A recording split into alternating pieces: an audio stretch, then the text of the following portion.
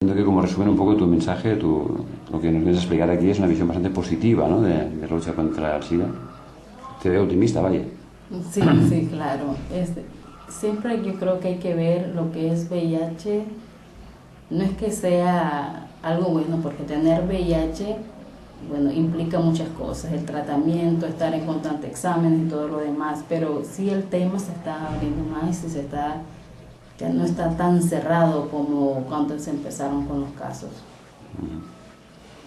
Y ponerle y, y, y, tal vez se deba a las, a las campañas de prevención, pero yo creo que si nos ponemos a que no tienen los casos tan altos como en África, entonces nos, nos, quedaríamos un poquito como quietos y estar esperando tener casos para hacer algo. Entonces creo que no hay que esperar a tener tantos casos o, o equipararnos a los casos que hay en Centroamérica, no tanto por África, sino que en los casos que hay en Centroamérica para empezar a hacer algo. Creo que el trabajo se tiene que hacer ahorita, desde antes que llegara tanto.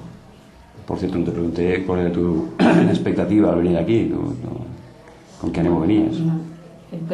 Con ACAS tenemos tres años de relación directa en, en cooperación y dar a conocer que el apoyo que estamos recibiendo por parte de ACAS, que es a través de la, del gobierno, es de. De, sí, ha tenido sus frutos allá en Nicaragua, que no es, no es por gusto, no es en parte que se está utilizando el financiamiento y que ha servido para hacer prevención, para hacer atención en Nicaragua.